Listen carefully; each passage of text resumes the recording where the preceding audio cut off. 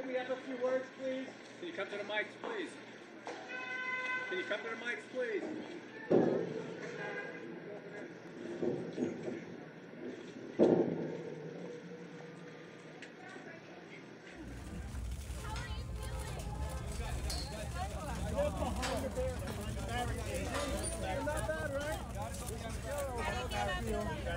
Carroll, how do you feel? Does the smile say it all? Before I walked into court.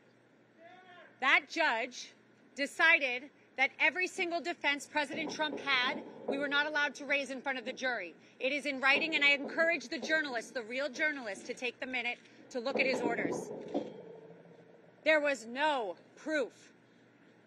And I couldn't prove that she didn't bring in the dress. There was no DNA. There was no expert. My experts were denied. Two of them. Two of them were denied to come in. Joshua, there might be room in there. Let me see how many people. How do you feel, Miss Carroll? room for Mitch in there? Around 200 million. Yeah, go ahead. Go around the other side, Clem, all around.